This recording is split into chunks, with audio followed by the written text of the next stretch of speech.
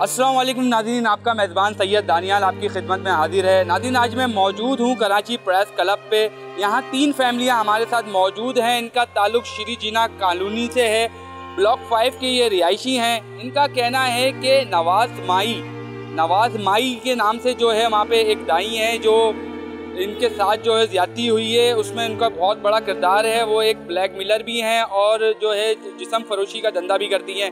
तो इन तीन फैमिलियों के साथ वाक़ क्या पेश आया? आइए इनसे बात करते हैं और जानने की कोशिश करते हैं। अपना नाम बताइएगा अपना तारुफ कराइएगा कि कहाँ की रिहायशी हैं और आपके साथ मसला क्या है? आप लोगों के साथ जो आप आए हैं आज सारे।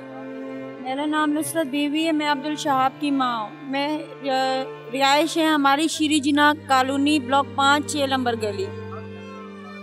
हम वहाँ के रिहायशी हैं। कुछ सात दिन, आठ दिन पहले कुछ गली में, मोहल्ले में एक औरत को मार रहे थे, जिसका नाम रीना है।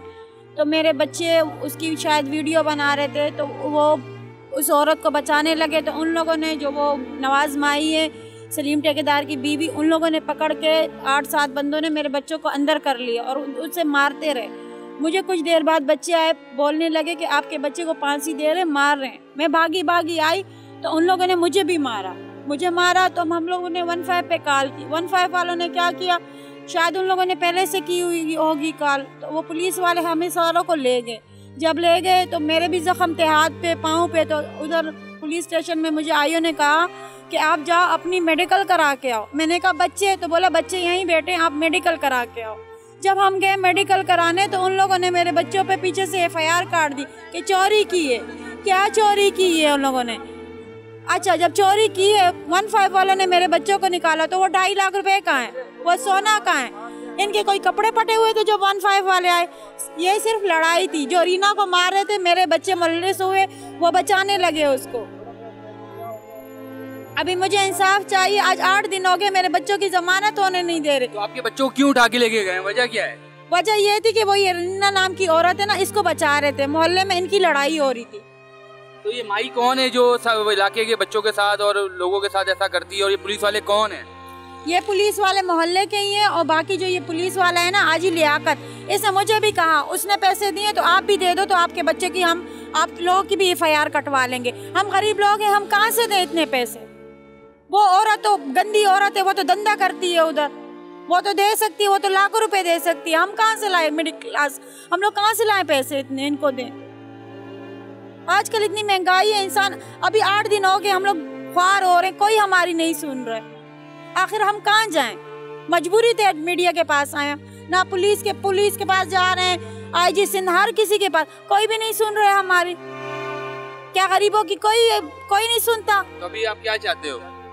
हमारी यही है कि हम मेरे बेटे को रिहा किया जाए और उनके खिलाफ हमारी भी एफ़ आई आर काटी जाए।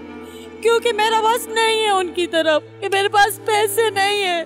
मेरे पास पैसे होते तो मेरी भी एफ़ होती।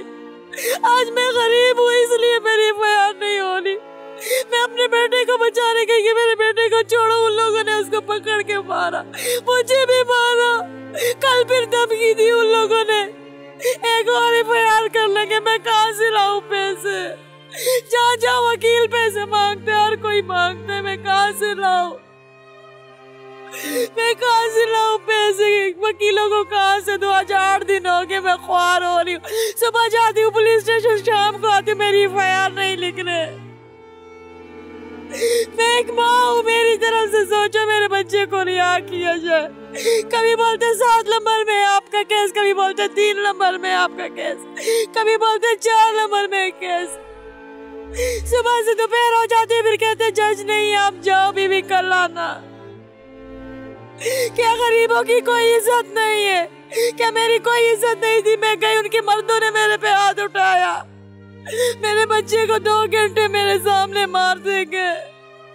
क्या गलती थी मेरे बेटे की? यही कि औरत को मार रहे थे उसको बचाने के साल का था बच्चा मेरा बेटा चौदह साल का अब्दुल शाह नाम है उसका। फैमिली में कौन कौन है आपकी? मैं हूँ मेरे दो बेटे मेरे मियाँ हैं। कि आज कोई भी गरीबों का साथ नहीं दे सकता। मैं ये कहना चाहती हूँ, मेरे बच्चे को रिहा किया जाए और इस औरत के खिलाफ मेरी दरखास्त और मेरी एफ़ आई काटी जाए। ये औरत हर किसी को धमकाती है। मुझे ये भी पता है, अभी मेरे पास मेरे पास कुछ भी नहीं है। अभी शादी फिर एफ़ आई आर करवाए। या मुझे वहाँ फिर मारे, या मेरे बेटे के साथ और ज़्यादा करे। मेरा छोटा सा बच्चा है उसकी क्या गलती थी? मुझे इंसाफ चाहिए बस इंसाफ चाहिए और कुछ नहीं।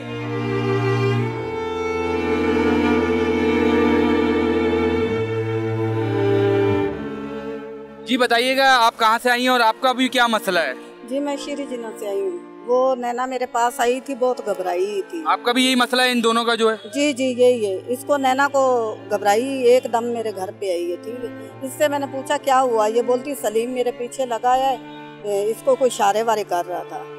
अब इशारे कर रहा है, बाहर ये गई है, फिर निकली है, ये घर जा रही थी अपने। अपने घर जा रही थी, इसको नवा- नवाज़ माई ने पकड़ के बहुत मारा है।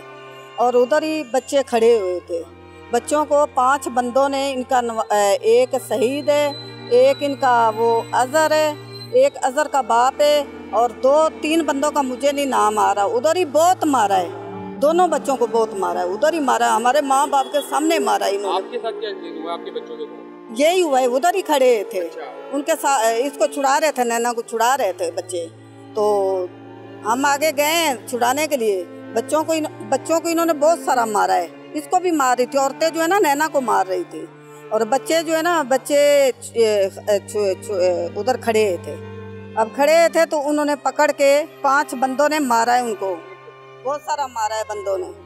बंदों ने जब मारा है, घसीट के फिर अंदर ले गए। अंदर जाके उनको फांसियाँ दे रहे हैं। पता नहीं क्या क्या उनके साथ कर रहे हैं, हमें नहीं पता। अंदर जाके हम माँ बाप इधर हाथ हाथ जोड़ रहे थे, लेकिन नहीं छोड़ रहे थे बच्चों को। बिल्कुल नहीं छोड़ रहे थे। ऊपर से धमकियाँ दे रही है। नवाज़ माई बहुत धमकियाँ देती है। शाम को वो तो उधर बड़ी बनी है ना। कानूनी की बहुत बड़ी बनी है। हम कहीं भी जा रहे हैं, ना पुलिस वाले सुन रहे हैं, ना कहीं हमारे आठ दिन से बच्चे अंदर हैं। पाउडर उनको दे दे के उनको पिलाया जा रहा है और उनको मारा जा रहा है। बहुत सारा मारा जा रहा है। बहुत मारा जा रहा है। हम कौन सी जेल लेके चले गए कितने दिन के बाद जो है आपको दिखे आपके बच्चे ये लांडी में लेके गए। मैं तो अभी तक उधर गई भी नहीं। मारते हैं उनको ज़्यादा मारते हैं। हम जाते हैं तो ज़्यादा मारते हैं। आठ दिन हो गए।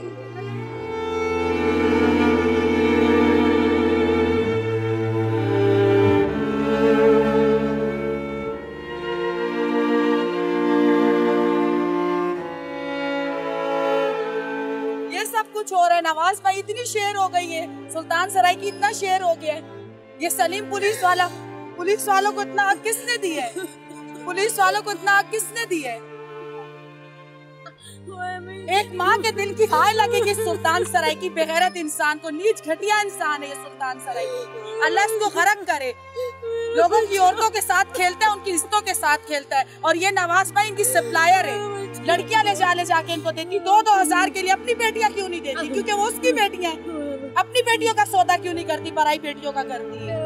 हमारे बच्चों के साथ नजायज हो रहा है, लिहाजा हमारी जो भी चीफ। जस्टिस है या डीआईजी है या जो भी जितने भी हुकूमत के बड़े सरबराहान है हमारी उनसे रिक्वेस्ट है हमारे हक में कानूनी कार्रवाई की जाए हमें इंसाफ दिया जाए और हमें ये जवाब दिया जाए कि हम लोग इन लोग को सबक सिखा सकें इन तरीकों को। हम इन पे एफ़ आई आर कटवाए हम इनको मज़ा चखाए इनको बताएँ कि औरत की इज़्ज़त क्या होती है। औरत तुम्हारी माँ है औरत तुम्हारी बहन है औरत तुम्हारी बेटी है। अपनी बहन बेटियों पे कोई हर्फ भी आ जाए तो इन लोगों को गैरत आ जाती है। रोटों पे निकल आते हैं। ये लोगों की माँ बहन बेटियाँ नहीं है जिन पे ये लोग हाथ डालते हैं। के साथ मसला क्या है? किस मसले पे आप कराची प्रेस क्लब आई है? क्या मसला है आपका? मेरा मसला यही है कि बस लोगों की मदद करना उनको अच्छी राय देना। हमारे मोहल्ले में कुछ लोगों के साथ नाजायज़ हो रहा था। तो उनको मैंने मशवरे भी दिए, जिससे जो सुल्तान सरायकी हैं और ये सलीम है, ये मेरे पीछे हाथ धो के पड़ गए, ठीक है? और मुझे जहाँ मैं जाती हूँ, मुझे वहाँ हरासा करते हैं। मेरी बच्ची मैं उसे स्कूल छोड़ने जाती हूँ, स्कूल से लेकर आती हूँ तो ये मुझे रास्ते में तंग करते हैं। इज़्ज़त पे कभी मतलब हाथ डालने की धमकियाँ देते हैं, अक्सर इन्होंने बुरखे खींचे सामने लाकर गाड़ी खड़ी कर देते हैं और ऑफर्स मारते हैं कि आओ चलो, खाना खाने चलते हैं शॉपिंग पे चलो, वगैरह वगैरह। तो इनको मैं छः महीने से नज़रअंदाज कर रही हूँ। लेकिन इस दफ़ा इन्होंने हद कर दी। ये सलीम पुलिस वाला मैं बच्ची को स्कूल छोड़ के आ रही थी सुबह आठ बजे का टाइम था तो ये मुझे फॉलो कर रहा था। तो मैं घबराती हुई अपनी दोस्त आपदा के पास गई। मैंने कहा, देखो यार, आपदा मुझे फॉलो कर रहा है और ये देखो मुझे गंदे गंदे इशारे भी कर रहा है। तो फिर मैंने मतलब इनके लिए आवाज़ उठाई। डीआईजी सिंध मतलब के ये जो वगैरह वगैरह, जिस चीफ जस्टिस वगैरह, इन सब के लिए मैंने टीसीएस करवाया, जिसकी रसीद मेरे पास मौजूद है।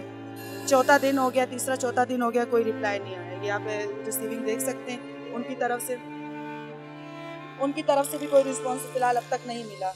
ये एस पी जोन है और डी आई जी हैं डी आई जी पी हैं ये सब हैं। अच्छा ये बताएँ मुझे ये पुलिस वाला किस थाने में तैनात है और ये माई कौन है? इनका लॉजिक क्या है ये पुलिस वाले का और ये इलाके की जो माई है इसका क्या ये सारा एक गैंग है ये कमीशन पे चलते हैं कि मतलब माई जो है वहाँ पर जिसम फरोशी का धंधा करती है पुलिस वालों को लड़कियाँ सप्लाई करती है।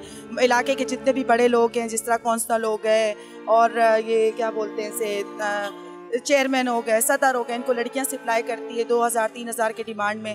तो इसी तरह इसका घर वगैरह चलता है या किसी गरीब के मकान पे कब्जा कर लिया। सन 2010 से अगर इसका रिकॉर्ड देखा जाए तो बहुत ही एफ़ आई आर काट काट के पुलिस इसकी सुनती भी है। तो ये माई का नाम वाम क्या है पता है? नवाज़ माई सही ठेकेदार की बीवी के नाम से बहुत मशहूर है।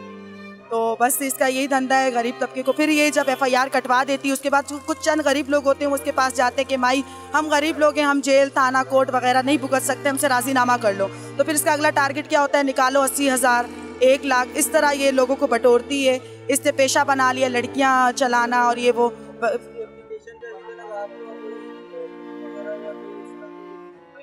कोई भी सुनवाई नहीं हुई, बस कोर्ट जा रहे हैं, धक्के खा रहे हैं। ठीक है और वो हमारा वाला कहाँ से ताल्लुक रखता है? कौन से थाने से पुलिस वाला? कभी ये कहता है मैं किसी जज का सेक्रेटरी हूँ कभी ये कहता है कि मैं किसी डीआईजी का वो ड्राइवर तो हूँ आपके पास वीडियोस हैं उसकी? जी हमारे पास मौजूद है।